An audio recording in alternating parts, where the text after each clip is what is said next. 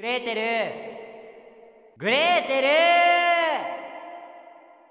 私は1歳と1ヶ月ろうそく1本吹き消したばかりだった。私たちは一緒に大きくなった。弟なんて欲しくなかった。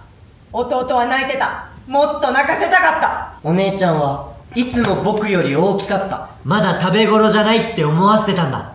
グレーテルだけが良かったグレーテル一人がずっと良かった。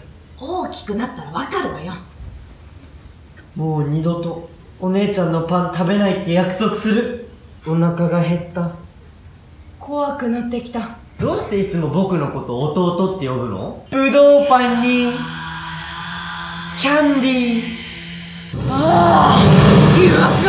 狂った誘惑が小玉みたいな僕もの声もしなくなる。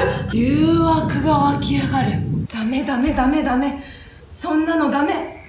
ヘンゼルがいなきゃ物語にならない。やっと私の目が覚めた。初めてグレーテルがヘンゼルって呼んだ。もう二度と弟って呼ばなかった。